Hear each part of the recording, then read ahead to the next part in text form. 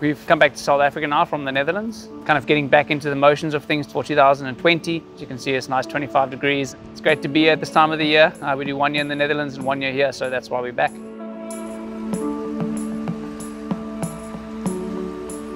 Spent a lot of time overseas and a lot of time out the suitcase and all that stuff, and so there's no one to turn to if things go wrong, you know. I've got my fiance, which is one person, but I don't have family and friends and all of that. So to come back to, to South Africa and just talk with people about something completely not related to what I'm doing is, is definitely the way of, of, of kind of switching off and just thinking about other things in life.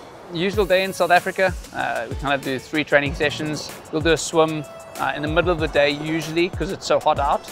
And uh, yeah, seeing family and friends. Uh, the rest of the year I can't do that, so it's great to do that and go to the coffee shops I like and uh, yeah, now settling into a new house. So uh, yeah, a lot of things happening at, at the same time. I'm approaching this season a little bit differently to others, just starting a bit slower, so make sure I'm strong and, and, stable and not doing too much training in the first three weeks. I got injured the start of 2019, so I want to try and make sure I don't get injured in 2020. Doing a bit more gym than I usually do. It's quite a priority thing now. This year was maybe the first time I thought about maybe working with a sports psychologist. I think I had the biggest setbacks in 2019 and it continued for like six or seven months. So, you know, it's a long time to, to be dealing with problems. I had a couple of things factoring in, stomach problems that were underlying that I didn't know about. So the mental side of things kind of went a bit as well. It was a big mess up. It kind of felt like it was going to happen and, you know, I was doing everything I could for it not to, but it ended up happening. You know, your mind has a massive role in what you do. And if your mind says stop, you know, the chance of you stopping is very high afterwards I decided to come back to South Africa to spend time with family and friends and I kind of just had enough of, you know, the circuit and the, the rat race and stuff and everything. So came back home, took it easy. I think, you know, that's part of life. You know, there's always parts that don't go the way you want it to. You got to just look at it in the, in the greater scheme of life. You know, there's obviously worse situations than you're in. You to look at the, the positivities and things that you have and uh, not the things that you don't have and the things that you want.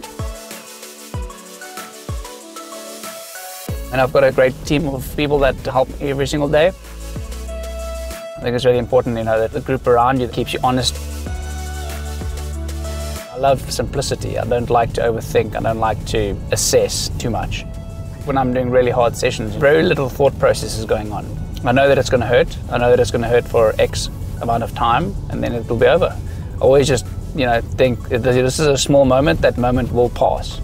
Ultimately, it's about the enduring performance. I try to stay as positive as I can. Uh, you know, I always find that that's really important. You know, things can be going badly and if you stay really positive, you can still come out pretty well. I love being outdoors. I like being, you know, doing exercise. And so for me, it's like the perfect job. If you love what you're doing, you never work a day in your life. I think when you have some bad times, you know, the good times are all, all that much better when they happen. I'm super excited about the, the possibilities in Tokyo to be the best that I can be, you know, to go to speeds that I've never gone to and to do the best that I've ever done.